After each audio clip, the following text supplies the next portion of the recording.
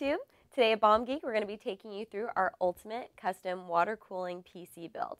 This beast is going to be inside one of the most awesome cases out right now for this kind of stuff, the Corsair 900D Super Tower.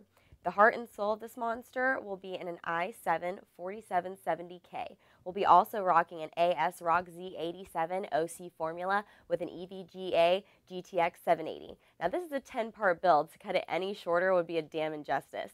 Whether you're thinking about water cooling or you just like to see cool stuff, we've got you covered. This is part one of the custom water cooling setup. We like to start with the CPU block first, as it's usually the hardest part to get to. We have an EK Supremacy full nickel block. We've already attached the back plate. Keep in mind, most of these blocks come with different brackets for different socket types. Now we're going to apply some thermal paste. Assemble these M4 screws with a washer, then the screw, followed by the block and then the spring and the thumb screw. Now that we have that assembled, our CPU should be good to go. Now for part two. We're going to install the water pump. You will want to keep this below your reservoir as it will make priming the loop way easier. Now, unless you're absolutely sure this is the best location for your pump, you should use Velcro to hold the pump where you want it. You might also keep in mind that this will require a single Molex connector from the power supply. We went with a custom threaded MCP 655 from Swiftech. You want to make sure this mount is in the right place. And if you're in a situation where mounting is an issue, you can do wonders with some double-sided Velcro.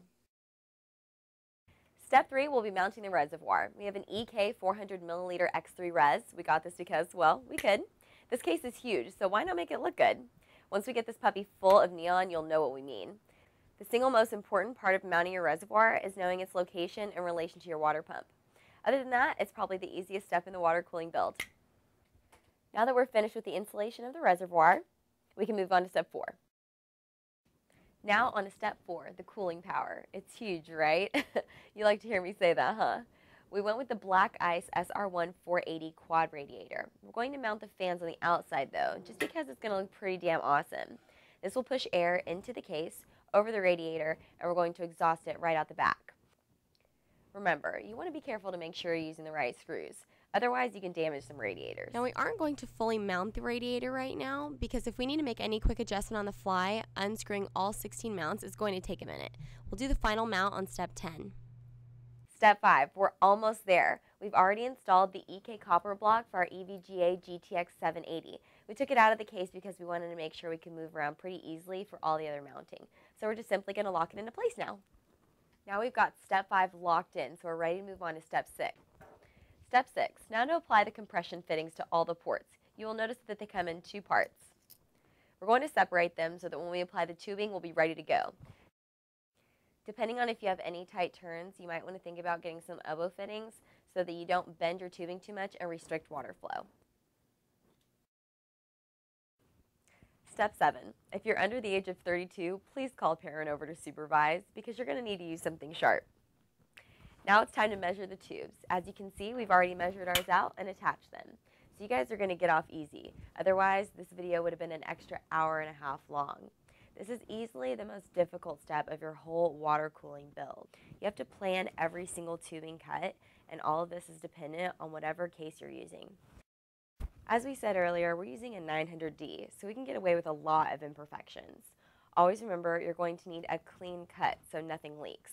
You'll also need a pair of needle nose pliers to stretch the tubing to fit over the compression fittings. Now that we've got our build tubed, we're ready to move to step 8. Step 8 is the most important part of your whole damn thing. If you don't get this right, it can cost you the whole build. You want to make sure all the compression fittings are tight. We like to do that with pliers, with either electrical tape or we use cloth. That way you don't damage the compression fitting finish. Just give everything a nice final turn for safety. It's step 9 and everything is looking fine. Let's prime the loop. We're using the Corsair 900D case for this build and you can see how easy the Super Tower is going to make priming this loop. This is going to be the fun stuff. We're going to take an external power supply and connect the green wire and the black wire, basically hot wiring it like a Camry. Remember to cut off the back switch so that there's no power before you put the paper clip in place. I like to test it out with a fan or a light just to make sure the power supply is on, which we already did. Then make sure you have water running down through the res into the pump before you're going to want to flip the switch powering the pump. Once you do, let the water push through and then shut it off before your reservoir is empty. You never want to run your pump dry because dry pumping is bad pumping. Now repeat this several times until you're sure your loop is full. Step 10, guys. Let's get beautiful. Wait, I mean, awesome. It's time to add a little neon green and watch her come to life. This is always my favorite part. It's just really, really cool to watch. We're going to try and catch this with the camera. Hopefully it comes out right.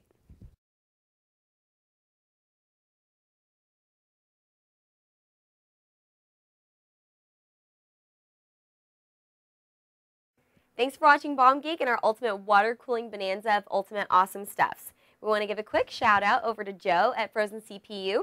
We're glad to be a part of the TGN network and we recommend you hit like and definitely hit subscribe. We'll keep you up to date on all the latest hardware, games, and just flat out awesome geekery. I'm Jessica. See you next time, YouTube.